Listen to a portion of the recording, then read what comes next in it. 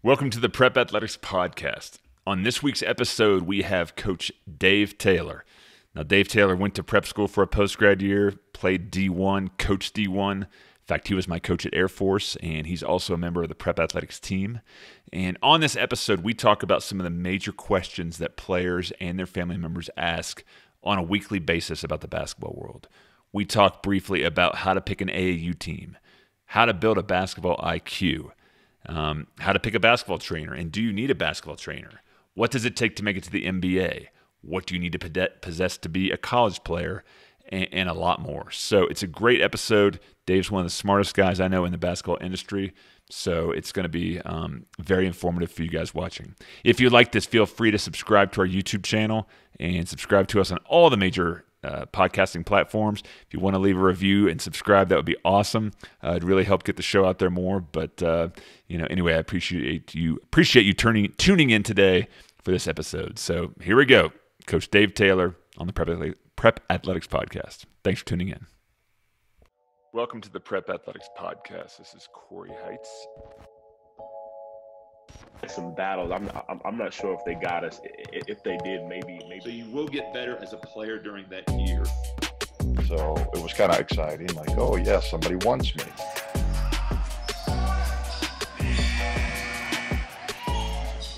All right, Coach Taylor, welcome to the podcast today. Well, glad to be with you again, Mr. Heights. Uh, it's always a pleasure.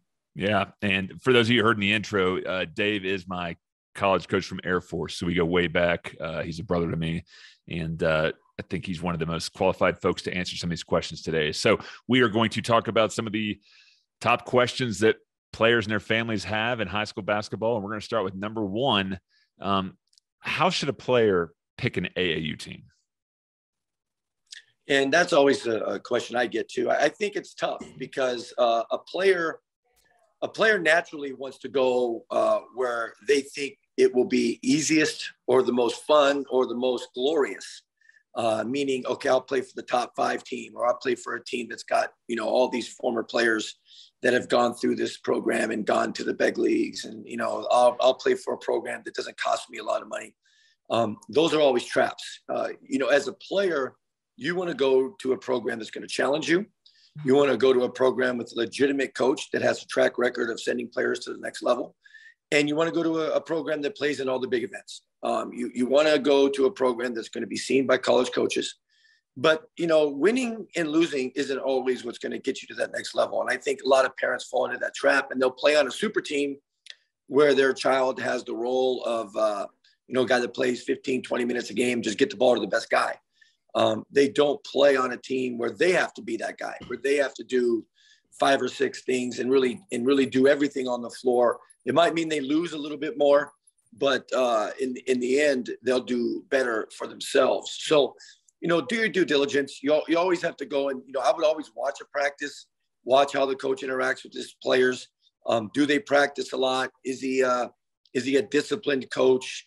Is he a real coach? Is he a, just a, trying to be everyone's best friend and and you know use them for their own notoriety? So it, it is one of the most important uh, decisions uh, a player will make is even more so than what high school they go to. So uh, I think the most, and it's, it's a choice you can make. You can go anywhere. There's no restrictions. So you really want to go to a, a program that's going to go to the right venues, but also going to challenge you, be hard on you, believe in you, uh, but push you and, and, not try to be your friend, but understand that, that they have to be your coach. Let me ask a couple follow-ups on that. When it comes to winning, if you are on a good team and you make it to the championship game, do those few extra games help you with being seen by more coaches, or do coaches take off by the time those games happen? Well, it depends. You know, if you uh, obviously if you win, you get more games. But uh, you know, my experience is it's one or two more games.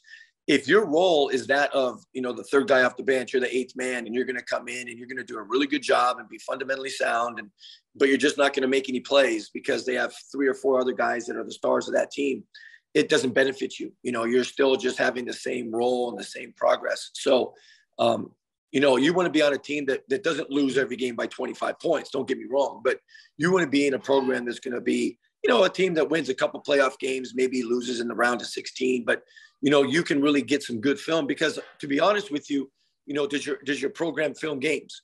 Do right. they do film? Do they do things like that? Because that's going to get you seen you know, how many coaches are at these games? You know, now with live streaming and the ability to video, you can really video these games, send them out to a bunch of people. But if you have an extended role where you have to rebound, pass, set the screens, you know, run the program, uh, be the leader, hit the big shots, be, you know, do all that, um, it's going to make you more, uh, you know, prestigious, more, more uh, recruitable to these college coaches. Right, right. You mentioned that you got to find a coach that um, develops and has connections and does things the right way. That probably that's a lot to ask. Are those guys out there in like every region in America?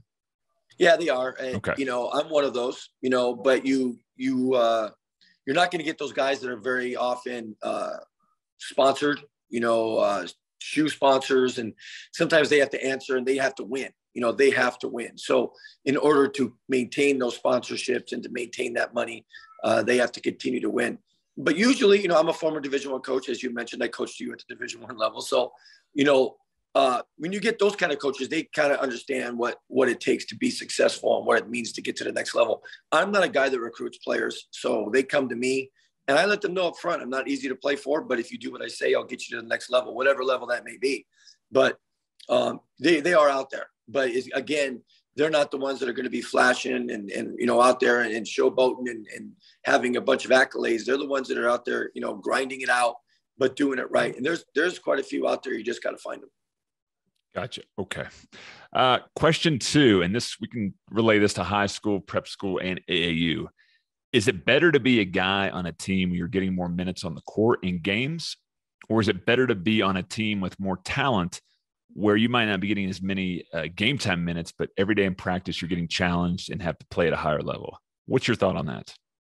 Well i mean uh, you know that's a great question and, and you can go either way on it to be honest with you. I know that if you're a guy that wants to uh, you know demonstrate his talents and get on the floor and be on a team that's going to be able to show the world what you can do, I think that's better. I think it's better that you play um, more and get more film and be able to show coaches what you can do on you know a national stage. But that being said, you know if you are on a super team, uh, then the question again comes down to coaching. Even though you're not getting minutes and you're playing against these superstar players that are all you know high majors, mid majors, whatever you may say, but is that coach going to send them film out and then fight for you and tell people that, hey, this kid didn't get a lot of minutes, but it's only because we had three high majors in his position. So if you have a good coach that can get the word out, that can kind of get your, you know, sell you as a player, um, you can benefit from that as well. But for me, the better benefit would be to be on the court playing. I think it helps you, but um, but again, if you're not playing, there is a benefit if you have a good coach. Yeah, it's it's a million dollar question that people ask all the time, and we deal with that in the prep school world. With you know, a kid might be looking at a single A team that just doesn't have that much talent on it, versus like a triple A team which might have ten D one guys on it. And I think it comes down, and tell me if I'm wrong on this, on just each individual kid and kind of what they want. Some kids might want to get pressed every day in practice and guard a guy, maybe going to the SEC or the ACC. And other kids want to get on the court and get those minutes in. So, does it come down ultimately to what the kid wants to potentially? Always, it always comes down to where they feel most comfortable. I mean, I always tell the story of Swen Nater.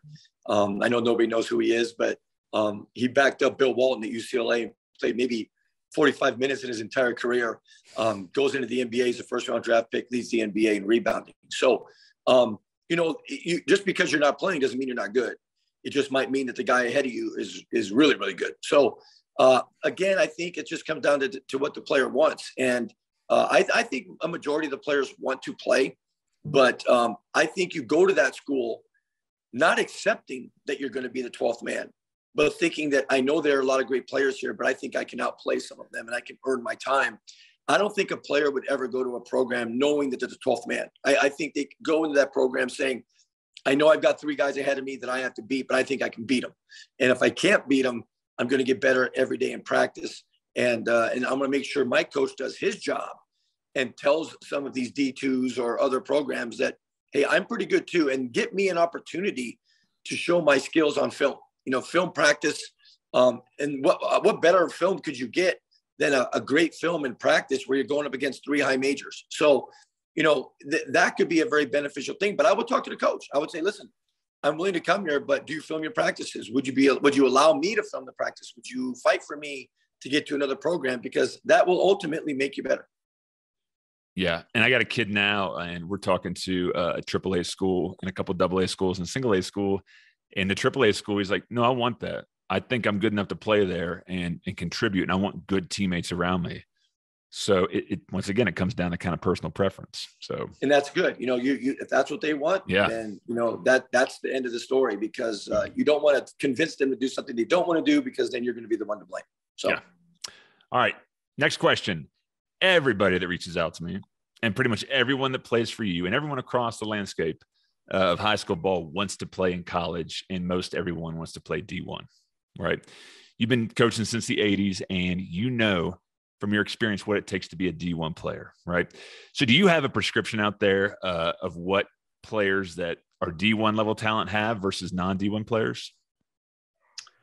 You know, that's a great question. Um, you know, obviously it's another one of these situations where you go down to, to preference. I think a lot of these guys that don't look like Division One players uh, are Division One players and can be Division One players. And I think for me, uh, you know, if you want to be a Division One player, you have to have the intangibles. And I think that's a lot of things that people they're they're sometimes immeasurable. You know, competitive greatness, um, willingness to sacrifice, uh, never say die kind of stuff. And then you have to have some sense of, of basketball IQ, a high level of it. You have to have uh, skill.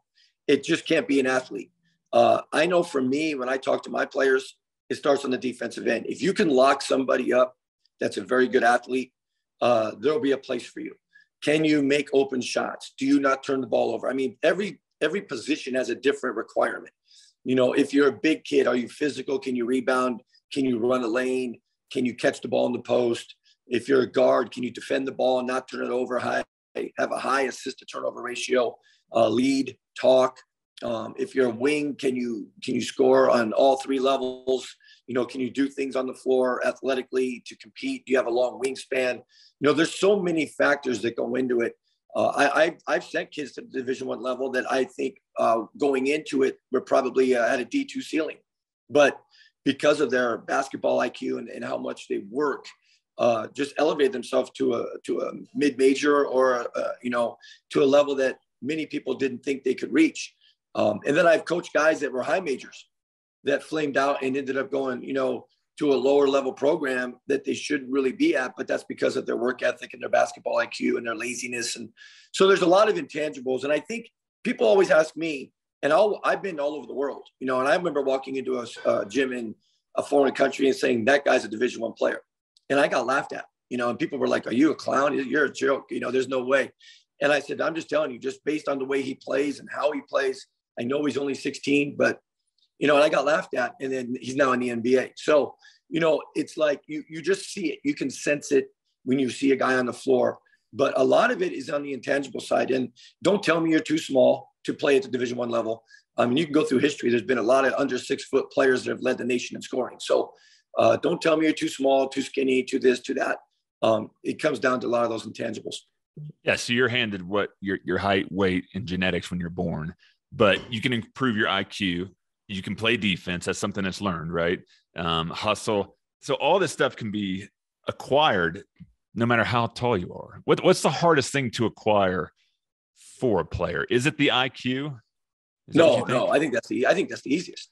Um, you know, I think I think becoming a shooter is easy.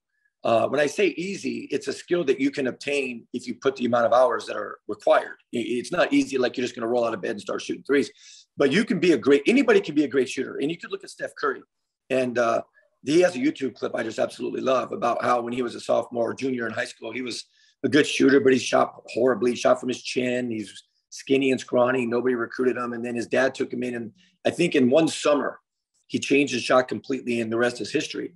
A- anybody can be a great shooter if you put the amount of time in that he's put in. Um, shooting does not require size or speed or athleticism. It doesn't require anything. Basketball IQ requires work. Study the film, watch games. You could have an amazing uh, basketball IQ by just watching games every night listening to these announcers, listening to the coaches that are talking to you on the film, watching your own film, studying it. Um, basketball IQ is easy to obtain, but you have to watch endless hours of film. You know, you, you have to be passionate about it. Um, again, uh, a basketball IQ isn't sitting down and taking a written test. You know, it's watching film, just you know, thousands of hours of film. Uh, for me, there are some things that are, you know, it's tough to, you know, uh, develop lateral foot speed. Let's say you really got to get in the gym and you got to do it. Some kids are just limited; they just cannot get faster. Um, they can't get quicker. Uh, they can maybe get one step quicker on the first step, but they just can't get up and down the floor. So for me, the hardest thing to obtain is that athleticism sometimes. Sometimes you're just not born with it. So if you're not born with it, then you have to figure out, okay, what skill sets can I have that can lend itself to a division one, two, or three program and and, and allow me to be a, a role, uh, take a big role on that team. And, you know, and we'll get into this topic down the road, but too many people think D1. You know, uh, there are some high level D3s and great Division three programs, NAIA Division one, Division two, uh, junior college basketball is basketball. But a lot of these guys get stuck on D1 and never think about the fact that, you know, there are some high quality D2s, threes, and all that. But um, for me, in my years of coaching, it's always harder to, to develop that athleticism and speed. Uh, so then you say, listen, son, you just don't have the speed, but we can use you in this way you know, you, you're a good player in a zone offense against it or, you know, little things like that. So that that's my, that's been my experience. Can you give me an example of one of your players who was not born athletically, but you know, got the max level that they could IQ wise and shooting wise and, uh, um, you know, maybe not laterally or quickly, but that, that, that got to that level by doing all that stuff you just mentioned? Oh, I have, I have, you know, probably 20 or 30 examples. And, you know, there was a guy that was my manager as a junior in high school, just probably 15 years ago. Um, you know, couldn't even make the team, but loved it so much and had a passion for it. I wanted to keep him in the program.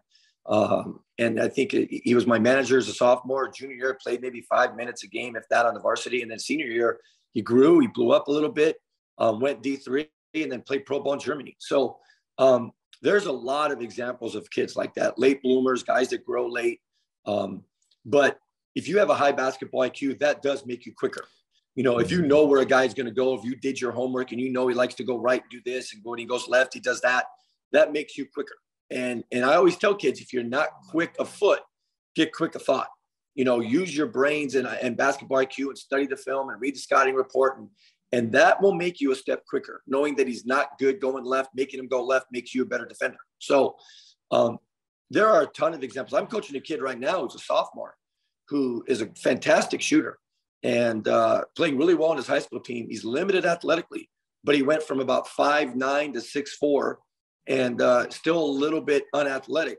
But he'll he's only a sophomore, and I think he'll end up being a scholarship athlete because of his work ethic and his passion and his basketball IQ. But he's limited athletically, you know. So we have to find a way to use him off of screens and and he has to be good on the defensive end and be more of a team defender versus an on-ball defender. Yeah. Next question. Um, what are three skills that kids can work on on their own that are going to give them the most bang for their buck? Or three well, workouts or thrill, three drills? Well, for me, I, I think that uh, basketball IQ is a skill. You know, um, that and and I think that's number one. I say it all the time to kids when I when I give my speeches or I'm traveling around the world. How many games do you watch? if you don't like watching basketball, if you go home and you'd rather watch a movie or play on video games and do all that, then you're not going to get to that high level. You know, you you have to have a passion and a desire to watch games. So for me, the number one thing that you can develop at home is your basketball IQ, and you have no idea how much better you become with a high basketball IQ and mental toughness. You know, it all comes in one. Um, but shooting is a skill that you can get really good at. You just have to put the time in. You have to have a coach that understands what it takes to get better. No dip, get the shot off in 0.5 seconds, you know, catch and shoot quick, Klay Thompson like. And, um, you know, you can be a, a really good shooter and ball handler. You know, shooting, you do need a gym, but sitting at home, you don't have a gym. It's snowing, you're on the East Coast. Uh, ball handling, uh, you know, basketball IQ, uh, defensive footwork, sitting in a stance, doing doing stance work at home by yourself. There's a million things you can do to get better. Not a million, but you know, a lot of things you can do to get better at home that will allow you to improve yourself on the court. I you, I can't tell you how many times college coaches have reached out to me that have players that played for me, and they'll say to me, "Wow, his IQ's off the charts." I mean, he I had him running the drills the other day. I had him uh, running film I, you know, on a timeout, I asked him what he thought. Uh, it, it's just amazing. This kid, I, had, a, I, I, I mean, this must have been maybe two weeks ago. You know, you're coming off the horn screen, and we always teach to help off the weak side. You know that if you're coming off the horn screen up the top of the key, that the open guy is going to be the opposite corner. Um, we teach that pass, and I had a player that's playing at a prep school that makes that pass consistently. And a college coach reached out to him and said, "We have juniors in our program that can't do that." So, you know, you, that that goes back to the first question you asked about coaching. You know, when, when you pick a coach, what kind of system do they run? If they play zone, dump them right away. I mean, you don't want to play for a coach of zones. All right, slight technical difficulty there with uh, with the sound going out, but Dave was pretty much saying that you know the IQ of your players uh, is noted by college coaches when your kids get to that level. Yeah, and just making the right reads and playing the right style, playing the right system, and and like I had said earlier, you know, going back to your first question, you know, if you pick, you know, what AU program do you, do you choose? Well, you want to choose one that plays a college style of game. You know, you don't want to pick an AU program that plays zone defense or just traps all the time and just plays full court press. Uh, you, you, college coaches want to see more. They want to see you play in the half court. They want to see you run a half court offense. And they want to see you run what we would consider college sets. Um, they don't need to see you come down and, and you know, uh, take 35 seconds off the clock every time because there's no shot clock. So, you know, when you pick a coach in a program, you want to pick one that's going to be conducive to what you want to do at the next level. But, um, you know, going back to your question, basketball IQ, uh, footwork, um, ball handling, those are things you can easily do at home. Yeah, that's good stuff there. Um, how about this? Do players need to have a trainer? No, no. Uh, I'm old school though, so I mean, who knows? Nowadays, everybody thinks they need a trainer. You need a good coach. Um, you know, I train on my own. I would just train on my own. Most players have. You know, on YouTube now, there's so many things you can do and drills you can you can you can get off of YouTube. Um, you film yourself on your iPhone. It takes you no effort at all to film yourself doing a drill in the gym. And then if you have a real coach, you say, Coach, I'm going to send this to you. Let me know your thoughts. You know, I, you know how many times I've had players send me things and say, Tell me what you think, Coach. Now, my players don't because I film everything, but I've had players from around the world send me video and tell me, How's my shot look? Well, you're dipping it, your, your release is low. Um, it's a slow shot. You're about at 1.2 you need to fix this and this and this. Now, if they need to come see me to do some drills to help them with that, that's fine. But you don't need. I, I think the trainer is is kind of an overrated thing. Um, if you have a real good coach, you only need a trainer if your coach isn't very good. All right, say my coach is not very good, and I do need a trainer. How do you? What's your criteria for hiring a trainer? Um, for me, you know, uh, again, it comes down to uh, due diligence, seeing how they work guys out, seeing what drills they put together. Um, a lot of the guys do the same drills over and over again, you know, and then, you know, you watch a guy and is he on his phone all the time or is he, you know, is he, uh, you know, talking to other people or what kind of drills does he have you do? Um, but for me, if I'm looking for a trainer, I want someone that's going to fix me, not work me out. I, I, don't need someone to work me out. I can work out on my own. I, I, don't need someone to sit there and make me do drills and say, good, go harder. Uh, I, don't, I don't need that. I need a guy that's going to say, your shot's off. Here's how you fix it your your footwork is bad. Here's how you fix it. Um, and then and then what kind of uh, you know what what kind of reputation does he have? What kind of uh, resume does he have? Has he played at the highest levels? You know, I, so many times I have these trainers that never played in college, and they're going to try and tell me how to get to college. Then I would say, well, why didn't you get to college? Oh, well, you know, I didn't work hard enough. Well, you know, I mean, I want someone that's been there that knows what it's like to come out of that locker room facing a guy, you know, four inches taller, 30 pounds stronger, and how am I going to beat him? What am I going to do to be better than him? Um, so many of these guys, like I always used to joke about, you know, they're holding signs up on a street corner saying, we'll train for money, you know, so um, there's so many of them out there, but you know, where have they been? Who have they worked out? And, and make sure they don't just one of those guys who takes a picture with uh, LeBron and says, "He, I worked him out." You know, uh, you know, do your due diligence and find out who they actually did work out. But can you make me better? I, I don't care about you coaching me to do hard, go hard in drills. I don't need drills. I need you to get me better and to fix my shot, fix my footwork, um, fix my offhand. Give me drills I can do on that. And then after I get that basic, um, I don't need to keep going back. Yeah. So I'm going to push a button here. What are your thoughts on cones and tennis balls? Well, yeah, everybody's different, man. I, you know, there's people that really believe in it, and that's great. And I, you know, I'm not going to sit here and say that that's the completely wrong way to go. I just like being more realistic. You know, instead of going to that cone, I'll say go to the elbow, or I'll say, you know, go to that spot and and you know cross over there. And um, tennis balls, you know, I don't I don't mind it so much if you're at home and you want to throw some, you know, tennis balls up against the wall and do all that stuff. But I've seen some whacked out things, man, with these guys trying to do these. I remember finger weights.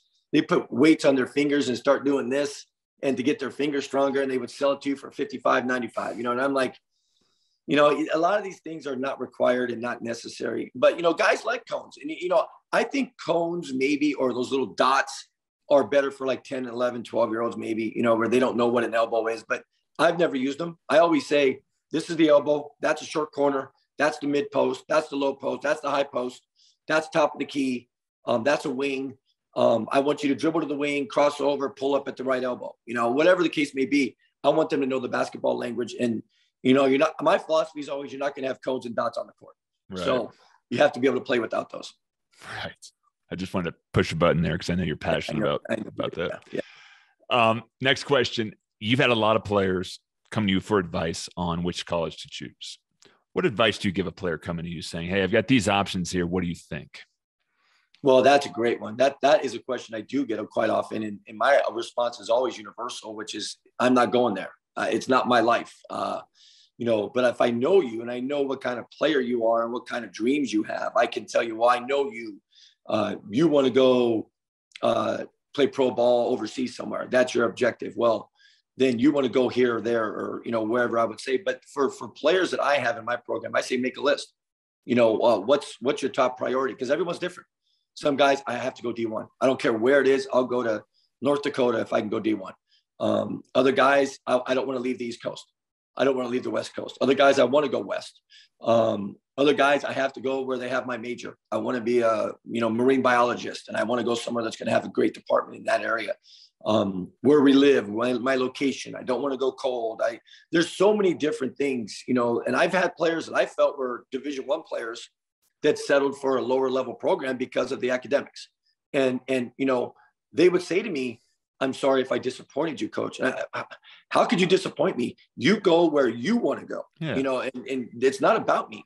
And you're not disappointing me because you're proving to me that you're man enough to make the decision on your own, not through your parents, not through your coaches, uh, not through your friends, girlfriends, whoever, but uh, you have the ability to make your own decisions. And if it works out, great. If it doesn't, you only have yourself to blame. So um, you know, for me, I have to get to know the kid. I know what he wants and doesn't want, and then I can advise them. Now, these days are different uh, with COVID.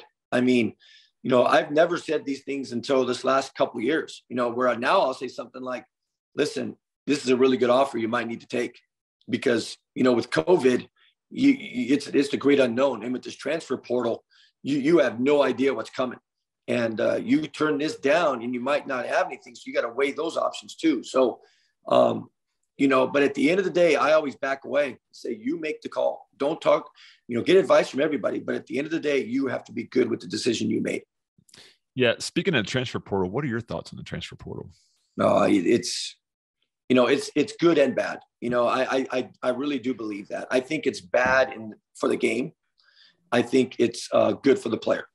I think for the game itself, and I'm an old school guy, you know, you don't like the way the coach yelled at you at practice, you just go into the transfer portal, you know, and then now it's changed the scheme of everything. It's really hurt the high school player.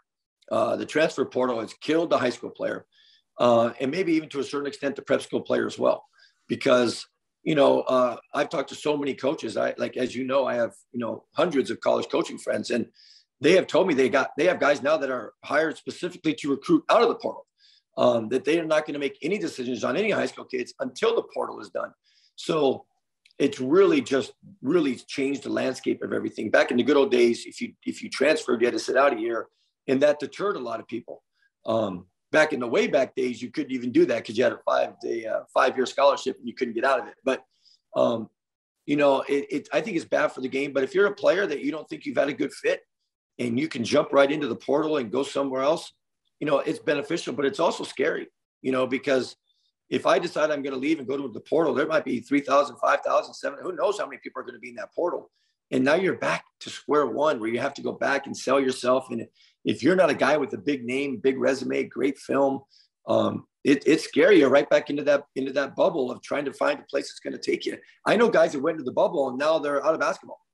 I know guys that went to the bubble and they went from D1 to D3 and they're not happy, but they had no other options. And then I know guys that went to the bubble and, and went to that portal and and they got into the best situation and now they're starting on a division one school. So um, you know, there's stories that go both ways. If you're asking me as an old school guy, I don't like it.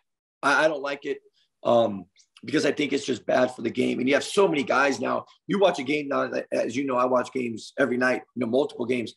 And what you hear more than anything is he went to Seton Hall last year. He went to Kentucky last year. He went to UCLA last year.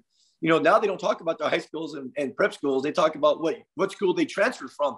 I think Baylor won the national championship with a bunch of those guys. So um, it's really changed everything. And I think for coaches that are old school, um, they don't like it. And I think a lot of them want to get out of it because of it.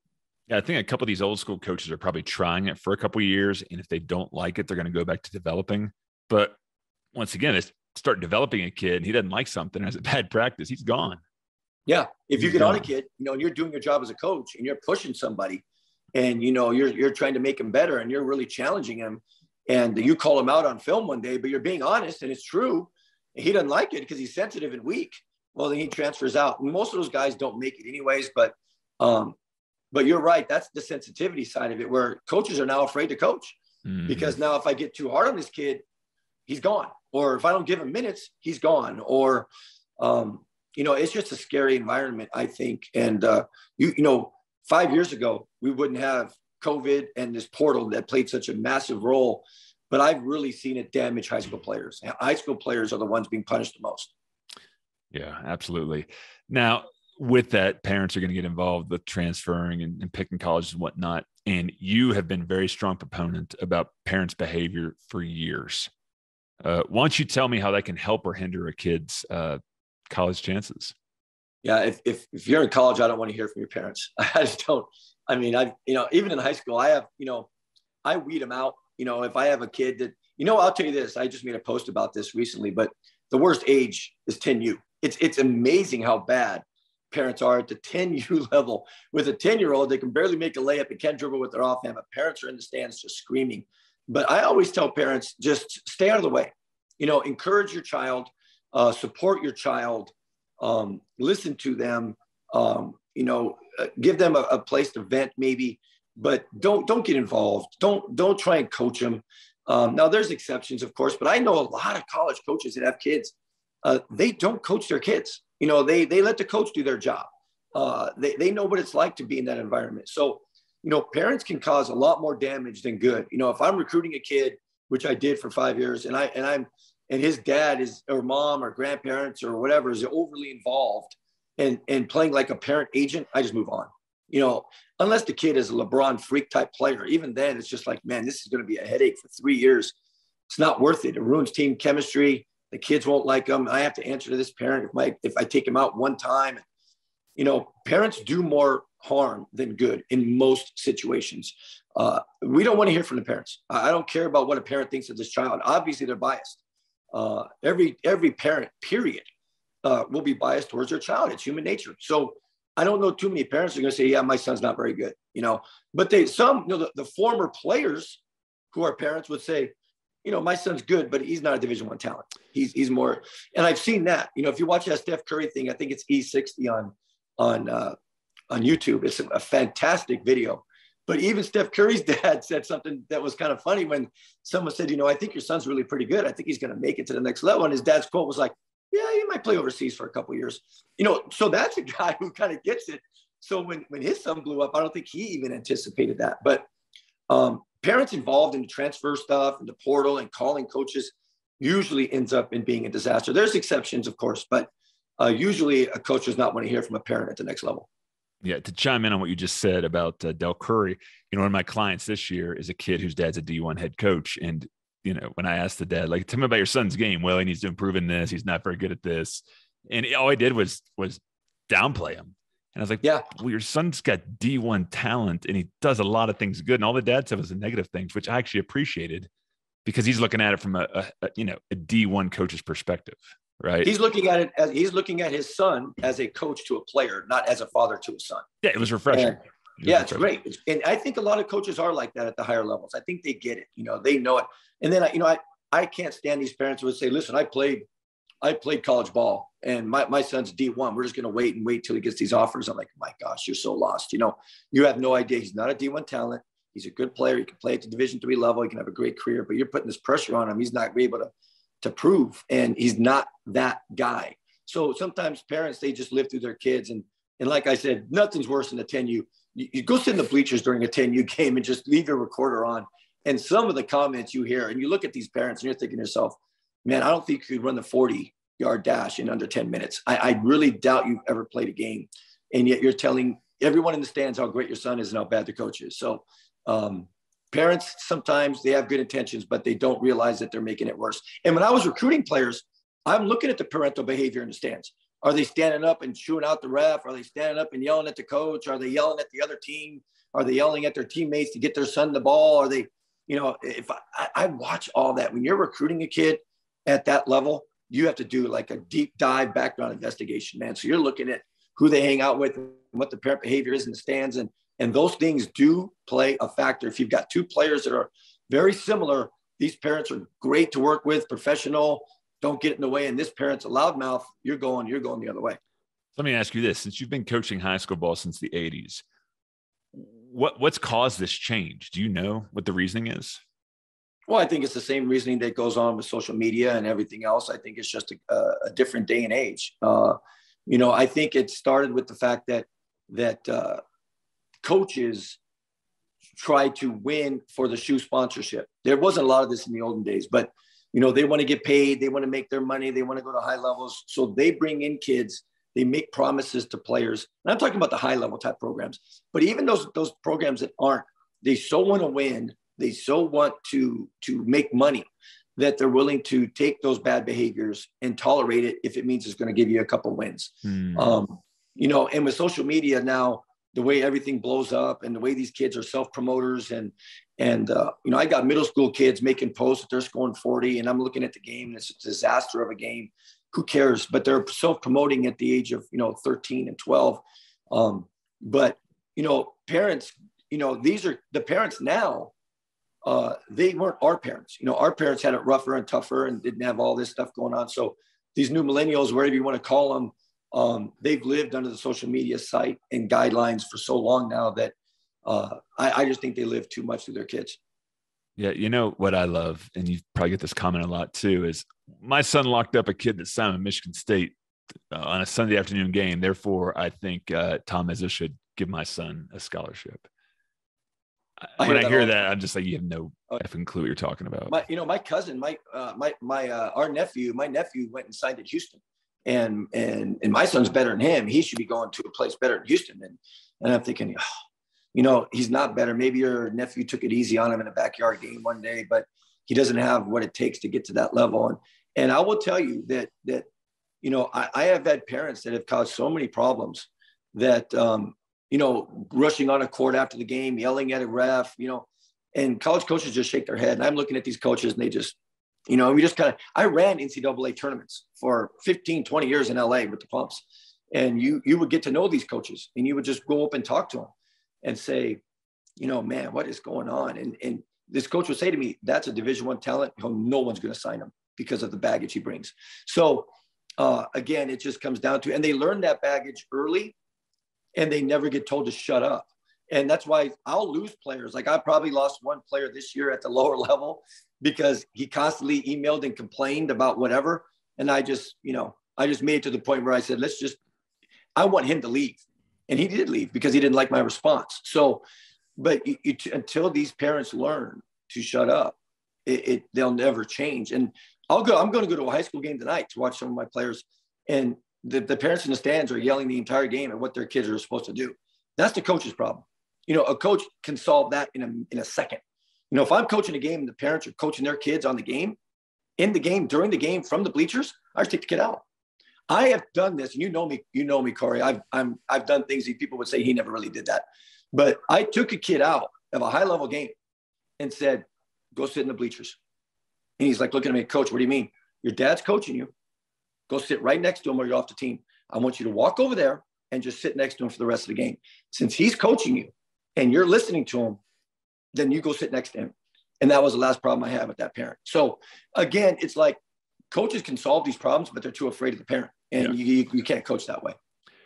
I want you to share a story. It's it's my favorite story of you dealing with parents ever, and it's about uh, a forty point blowout and parents in the stand yelling at your uh, timekeeper about a point they were off.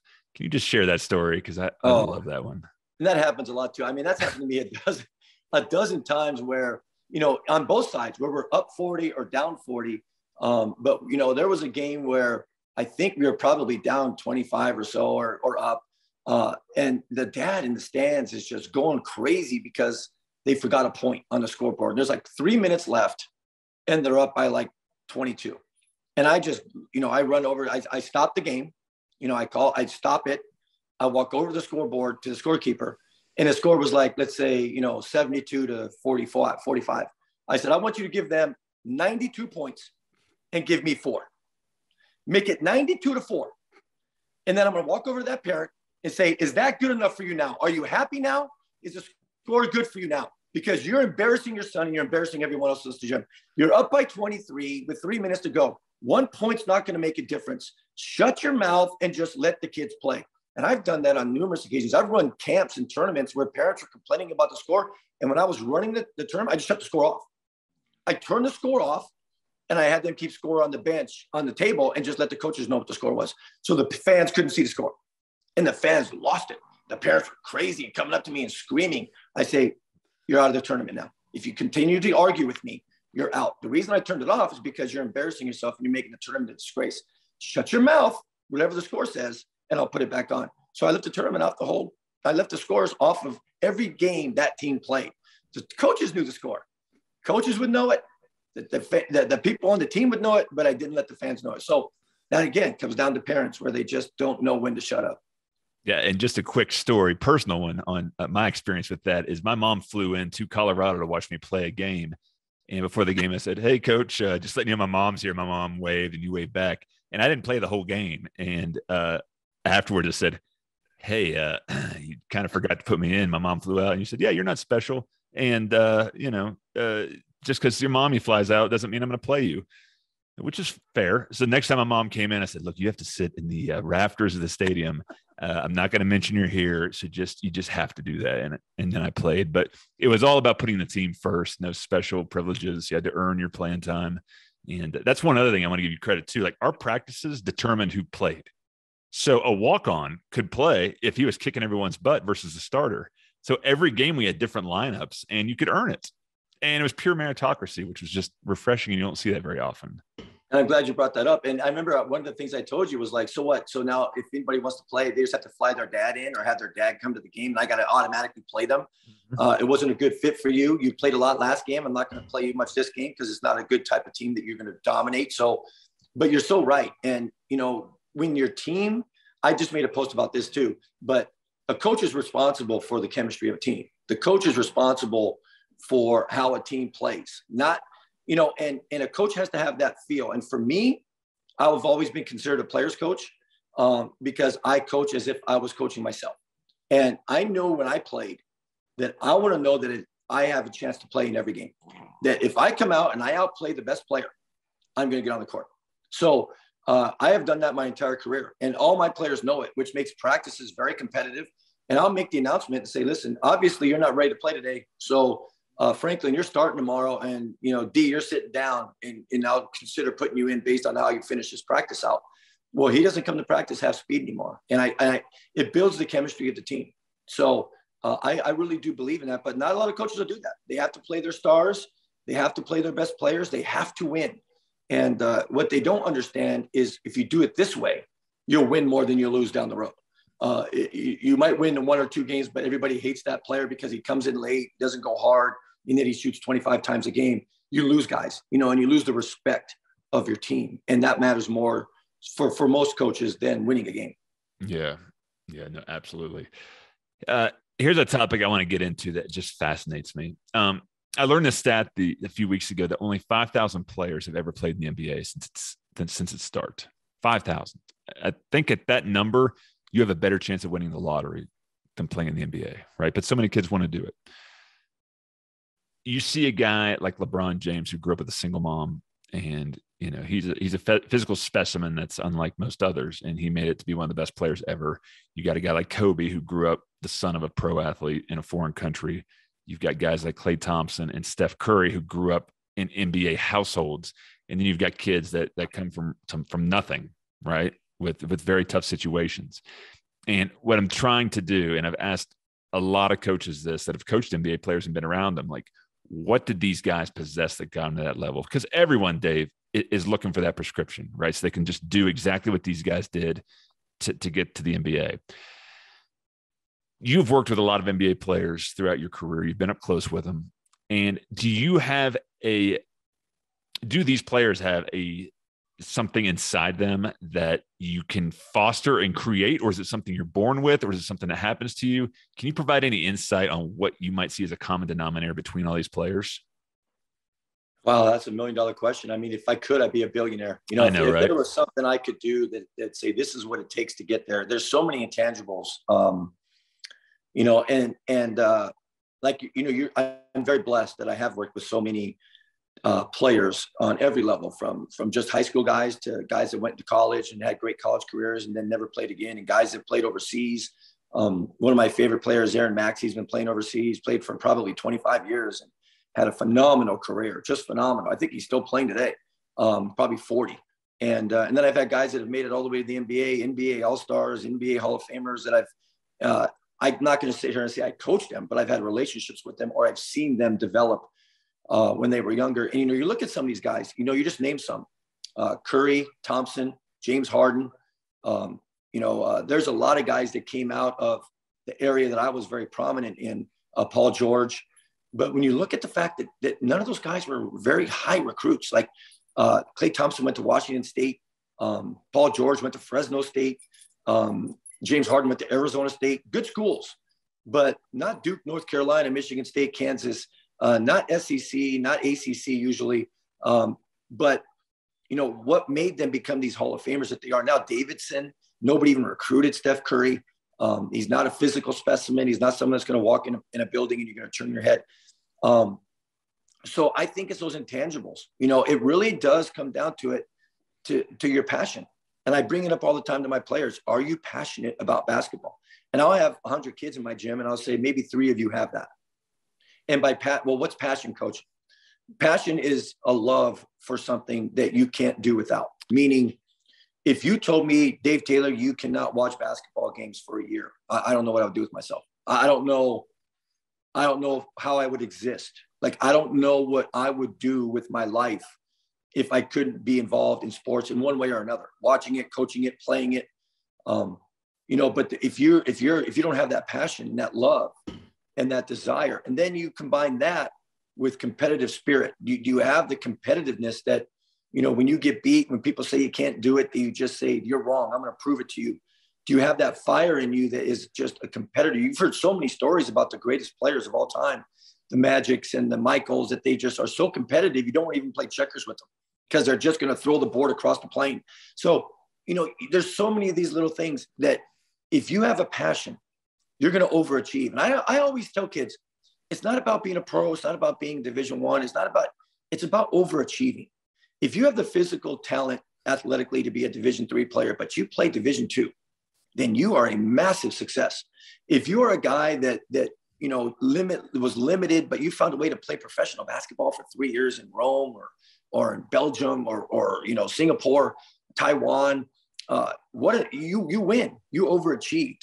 But there is no magic pill. There is no, you know, you can't make somebody passionate about basketball. Right. You know, I can't just go to you, Cory, you've got a ton of talent, your size, you have people in your family have, have played, your DNA is phenomenal. You have to love basketball. Go home and love it. It, it doesn't work. You know, you just can't fake that. So for me, the one ingredient that matters more than anything is the passion that they just can't live without it. Then number two for me is the competitiveness. Yeah, let me ask you this: Where did your passion come from? Because you did you come out of the womb with passion, or did something plant that seed within you? I, I you know, uh, that's a great question. I it was something I always had, but I I, I probably attribute it to my dad. Um, my dad was a football guy. And uh, I played sports my whole life growing up, and all my friends did. And I just loved it. And I think that being introduced to it, that's what a parent should do. I think a parent's responsibility um, is to basically introduce their children to different things in life, you know, and then let them run with it. You know, I send my daughter to a, a soccer thing and uh, she's really good, but she comes home and says, I just hate it. I don't like it. It's not fun. Then don't play. Um, you know, I, I put my daughter in a tennis camp and she's horrible and she's hideous and she can't hit the ball across the net, but she loves it. Mm. And she mm. wants to watch it on tennis channel and she wants to go play every day, dad. And she's seven years old. She's going to make it somewhere. She'll play somewhere. She'll go to some college and probably get a tennis scholarship. So, you know, once the parent introduces the child to an event, it's up to the child to show you and to demonstrate to you as a parent that they really, really want this. If you have to say to your kid, hey, did you work out today? Hey, uh, the Lakers are playing the Knicks or Duke's playing Carolina tonight. You want to watch? Eh, not really. I'm going to go upstairs and, you know, go on Instagram. They don't have that. And you can't force them. No, you're going to sit here and watch with me. It, it doesn't work. They'll just get turned off and not want it even more. So for me, I was introduced to it by my dad. Um, and a funny story is I didn't like him coaching me. I didn't want him coaching me, but I just, he watched it. I watched it. I fell in love with it and I ran with it. So to me, it was in my DNA. But if I had a father that didn't like sports, never played sports, and was into music, maybe I'd have been a musician. I don't know. But once I was introduced to it, I, I ran with it. That's interesting because that's almost that's almost inside you that you're born with. I think. Yeah. And and and think about this. You and I could have both been like. Oh, here's the example I use: Michael Phelps. If Michael Phelps at six six was born in Lexington, Kentucky, he's not swimming. They're putting him on a basketball team if I'm born in Baltimore and have his mom and get introduced to a pool, maybe I've won 12 gold medals. Right. So there is so much talent out there that probably just never had a mentor or an adult expose them to something that they would have been excellent at. Right. And I guess all of those 5,000 players, since it is like winning the lottery, it was, it was lightning in a bottle where your dad introduced basketball to you. Because if your dad yeah. is just not a sports guy, which there's plenty of guys that aren't, you have a different life trajectory. So maybe it's maybe it's luck. A lot of it's luck. And well, a lot of it is luck. Places. I mean, to get a start, to get the passion start is luck. Maybe well, I always say, and I always say, you're a product of your environment. So depending on which environment you live in, some guys live in an environment where basketball's their way out. So they looked at it like that, and they took it like that, and they really developed their passion and love as a way out. Um, others might, you know, look at it as, you know, you have a kid who's got you know LeBron's talents, but everything's been handed to him, let's say, and he's never had to work for anything, and his parents, you know, sugarcoated everything and never let him fall down. Then he doesn't turn out to be the player he is. You know, I've worked with players like uh, I remember Demarcus Cousins always talking about how he was a football guy. You know, you look at him; he's huge. He was a football guy, and he grew up in Alabama, and Alabama's football. You know, and and uh, but then when he walked on the basketball court, he just fell in love with it. And you know many people probably told him, no, football, go to offensive line, be a stud, D line, whatever. But he fell in love with basketball and the rest, he kind of just took off. Um, so it really does come down to, like you said, a lot of it is luck. And, and a lot of that luck falls on the parent, you know? And I know for me, um, I want to, I want to provide my daughters with opportunities to play everything and do everything, gymnastics, uh, music, uh, things that I don't even like. You know, hey, let's go do uh, uh, play the piano you know, if you love it, then let's continue to do it, even though it's not something for me. Um, and I'm not going to force my kids to do something that I want them to do. Hey, I was a great player. I want you to play basketball. You're my daughter. You're playing basketball. Eh, it doesn't work that way, you know. So, but I do. I have found out recently in my limited years of parenting that they do want to please me. So they do want to play basketball. They do want to coach, you know. So that's like a natural thing. So as a parent, I wanted my dad to see me dominate on the football field. I was a football player, you know, because he played football. I wanted my dad to say, wow, what a great game. And then, uh, you know, then as I got older, I didn't need that anymore, but I just fell in love with the sport. So, um, you know, it really is something that's inside you, Cory. It's not, you just can't fake it. You know, you can't. I remember my mom telling a story to all my friends or my, my relatives. Like she would leave me at home back in the day when I was probably 11, 12 years old. She'd go run to the store and come back. And, uh, you know, my aunt would be like, what are you doing? You're going to leave him home alone? And she's like, oh, the baseball game's on. He's not going anywhere. You know, he's going to sit right in front of that radio, by the way, and just listen to Vin Scully. And she was right. And, um, but I that, that was a story she told when I was probably 10 or 9. So I've always been somebody that's just loves sports. And I think uh, for me, I've been very fortunate that I've been able to make a living out of it. Yeah. And with this new generation having the video games, having the social media, and you being around the game so much, are there still kids that have that passion for basketball, or is there too much distraction now versus like an old school player? Well, there's way more distractions, but I did. They're still out there. Okay. Uh, it just depends. You know, a lot of these kids.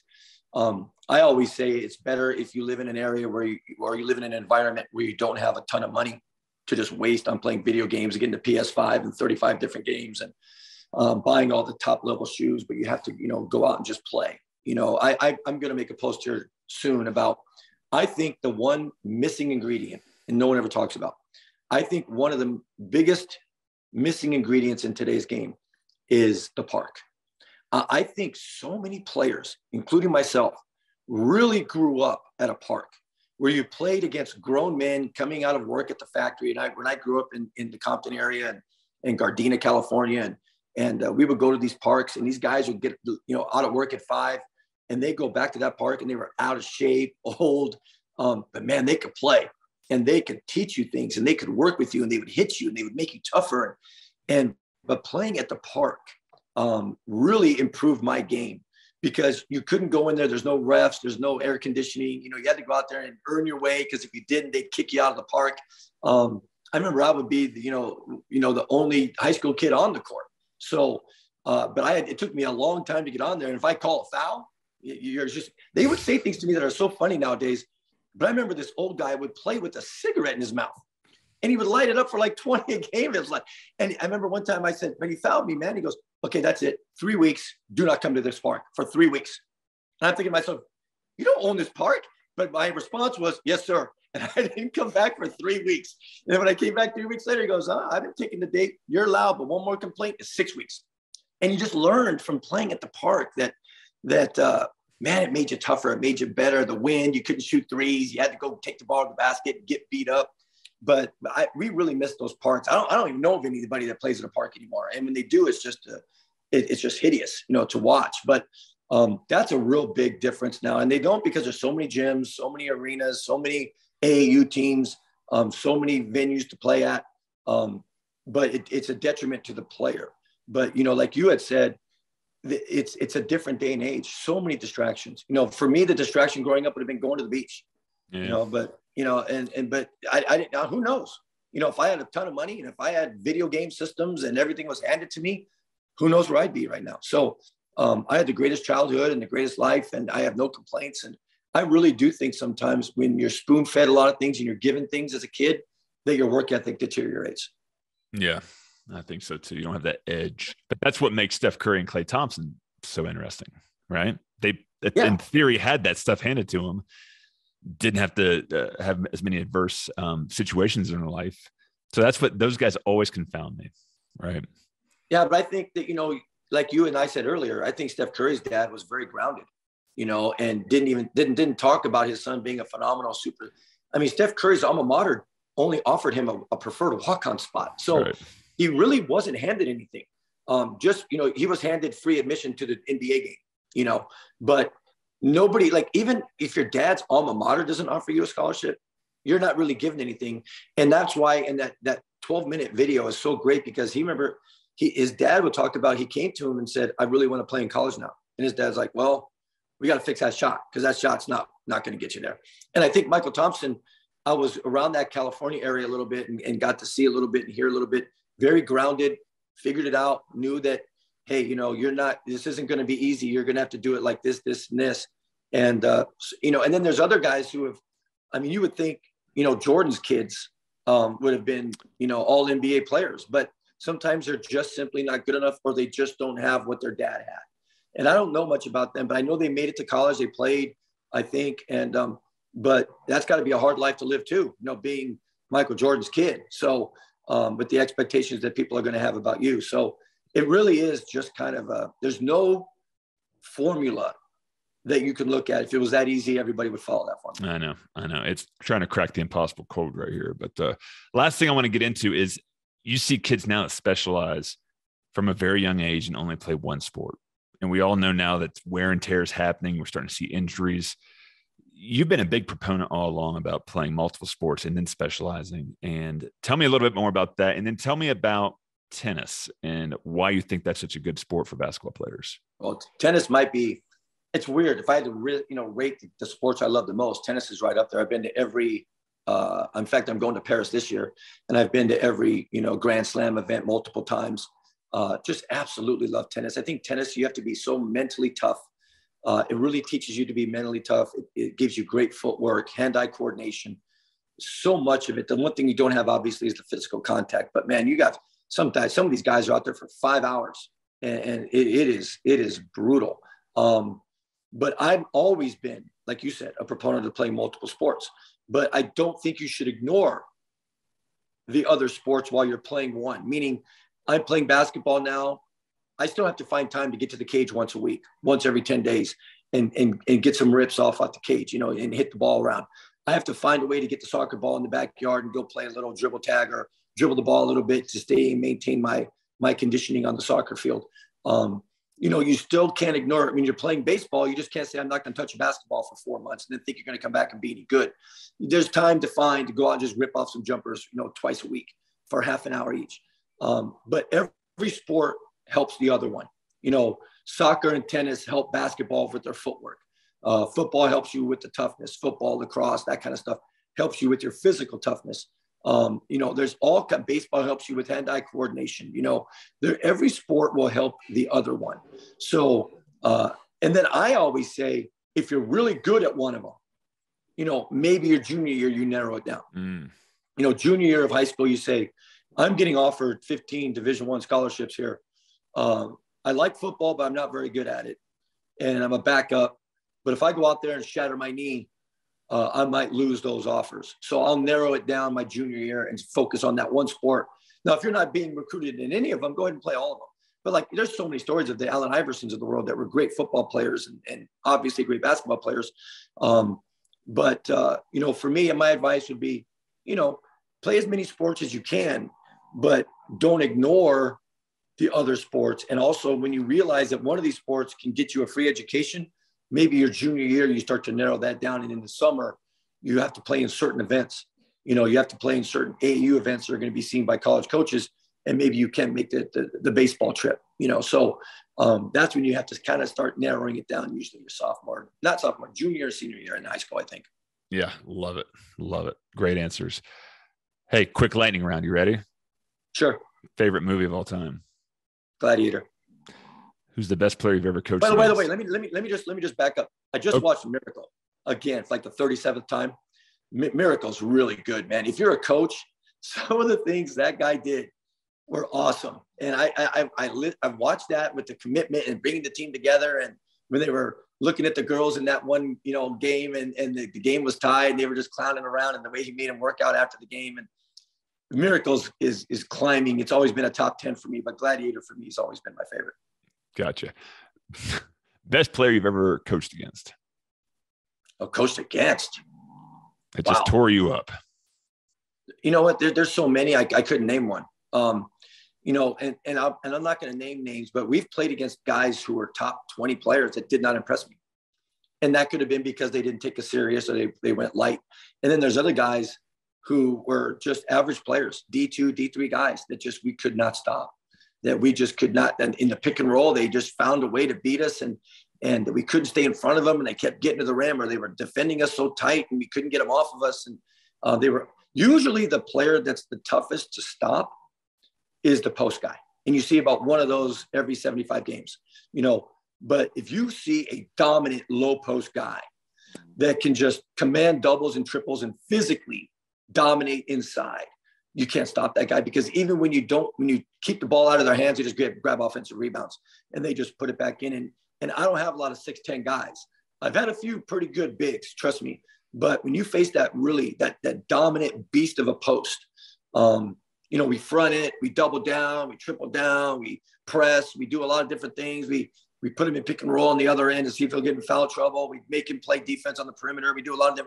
But if they're just a man child in there and just grabbing rebounds, you just have no answer for it. I look at my kid who's, you know, six four and a buck 95, and he's going up against six nine, 290. I just look at he looks at me and I just smile like good try. You're trying, but he's just throwing you to the wall. But I, I, you know, I've coached against and with so many great players. Um, I couldn't narrow it down to one. Okay. Last one. What's the biggest win of your career? Oh man. That's tough to with your history. I know that. Well, it's just so many, but there's so many little ones. Um, Give me one of you your know, first one, one of your first when you were first starting. Because I know those stick in the brain more than Yeah, others. well, my first year I coached a team that went 0 17 for the year before. So uh, I came in and and I'll never forget my first game. I got a technical within three minutes because I was out of the box. I didn't know what a box was. So a box, we I stand right here in this box. But um, you know, we beat some teams uh, that we shouldn't have beat. I think when I was in LA, we beat Long Beach Poly. Um, and the LA Times had a little blurb saying it was the upset of the year in, in Southern California.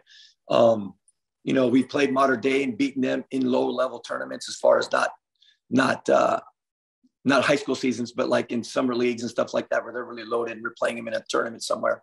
Um, and then there's a game where, you know, I was coaching an eighth grade team and uh, we're playing against this super team that's also in eighth grade. And they're, I think they were 25 and 0 and they had banners everywhere. It was the last game of the year. They were undefeated. They had really, really amazing talent. And, uh, you know, we were an average team, probably 10 and 10, you know, 10 and 12. And uh, we're down 25, 30 and a half, you know, and, and rightfully so. This team was loaded. And I just said, listen, guys, you know, we're getting good looks. You're just missing them. Okay. You don't quit. Just keep pushing. Just keep pushing. Don't listen to the crowd because we're in their gym and they're playing music and, and, uh, you know, and we just slowly. And, and during the game, they were trying to throw alley oops. They had guys that were shooting free throws with their offhand, laughing, um, pointing at us. And so I would just remind them of that once in a while, like, hey, you know, they're making a joke out of you guys. Next thing you know, we're down like 12. And then, you know, I have all five timeouts. Which I don't know why we would have five left, but they give you five in this league. So we would score a timeout, foul, score timeout. Bottom line, we hit a, a three at the buzzer to uh, to beat them. Uh, they ended up winning the whole thing in the playoffs never came close to losing, but they had that one loss. And, uh, you know, I made a post about it, but didn't name names, didn't name the schools, didn't name the teams. But everybody on the other team just hated me and started messaging me and calling me names. And I said, listen, and they had this one little kid, like the coach's kid. Every time they made a three, he'd run up and down the sideline with a bow and arrow, and he just bow and arrow everything and start. And they were just rubbing it in. It was just, if I had to really tell you, that was probably one of the most gratifying wins I've ever had because to be down with eighth graders down by 25 against a team of that caliber on the road and blah, blah, blah, blah. And parents just, you know, our parents just like, wow, this is bad. And then they come all the way back and win. And the ramifications of that were, were enormous. So, I mean, but I've had hundreds of wins like that, that, that if I had, you know, three hours, I can coaching uh, at the Air Force Academy, man, we had some great wins, you know, great wins on the road, stopping, uh, uh, what was that? Uh, Western, Western, Nebraska. Nebraska yeah. yeah, had like a 90 game winning streak at home, and we beat them on the road in their gym. Their coach, who I loved tremendously, I thought he was a great guy, came into our locker room, which you were a part of, I believe, and said, "Wow, we've never been beaten like that before, and you guys really gave it to us." And they had a huge home court advantage and, and, and professional talent on that team, and uh, we we beat them down the stretch and shocked the world. And and um, I just got tons of games like that, you know, and and whether it be at Air Force or, um, you know, in high school or and, and like I said, eighth grade, and I'll coach a 10U game and just be so proud of them, and it'll it'll give me a feeling of enjoyment for for years, you know, just to be so proud of, you know, and I like the I like the teams that overcome, you know, and overachieve, you know. I, I my greatest memories I've taken teams that in California we had teams with the double pumps that just you know if we won a game by less than 30 it was a loss and and guys on that team. I had five NBA players on that team that I was helping out with. So I don't really have great memories of those games because they were just so easy and so easy to blow out. It's the ones that you coach those those teams that just take that next step. Yeah, absolutely. And it was fun to be a part of those with you all those years ago at Air Force. But uh, well, look, we covered a lot of good stuff today. I really wanted to make sure on this episode that we were talking about some of the main topics that players and their families deal with today and questions you and I get uh, on a weekly basis. So I just want to get your point of view on that, just so people have more information to where they can make uh, a better decision about their son's future, right, or daughter's future. So uh, thanks so much for that. You know, you're a brother to me. I respect you. I've learned uh, my basketball IQ went up exponentially. Uh, for the time I spent with you, and you know, obviously we work together now and travel the world. So I'm just grateful for you, and I, I really appreciate you coming on and, and sharing your knowledge base with everyone out there who's going to listen well, I'm very proud of the man you've become and and what you're doing in life. And uh, you know, I, I couldn't be more proud of anyone. So uh, to see, I talk about you quite often, and you're part of my life and my program, and uh, you've helped so many of my kids get to that next level, and I thank you for that. And um, but the one thing I say more than anything is just how proud I am of you. And and coaching you, I always knew you had that in you. And then, you know, I've I've always been very hard on you. We won't get into that, but I've always when I coached you, I was really hard on you. And um, but there was a reason for that. And I always say that to kids that if, if a coach isn't hard on you, then he doesn't believe in you. Um, you know, some of these kids get yelled at and they take it personal, you know, and they're like, oh, he hates me. I hate him. I don't want to play anymore. I tell my kids, if I'm not yelling at you, then I don't think you're very good. So when I yell at you, you should almost smile inside, like, wow, he must think I'm really good because he's mad at me because I, I made that mistake. He thinks I'm better than that. So the worst thing you can do to it, to my opinion, to a player and even to a kid, if you're raising them, is to ignore them. You know, if you just ignore them, that that's the worst thing you can do. So I'm very proud of who you've become and and uh, have hundreds of stories coaching you that we'll get into one day for a four hour podcast. But um, very proud of who you are as a man and and uh, and as a, as as a, a, father more than anything. So thank you for that. Keep doing the good work you're doing, and and I'm sure we'll be in in uh, in partnerships for years to come. Absolutely. Well, folks, thanks for listening in today to the Prep Athletics podcast with our esteemed guest, Coach Dave Taylor. And uh, if you like what you hear, feel free to subscribe on all the major podcasting platforms. Subscribe on YouTube, which has uh, you know bonus content. Sign up for our newsletter. And if you have any questions about basketball or post grad or prep schools, feel free to email me. I'll get back to you. I read every single email that comes my way, and uh, we're here to share information and help you make the best informed decision. Uh, so, with that being said, be safe out there. Thanks for listening, and we'll see you next week.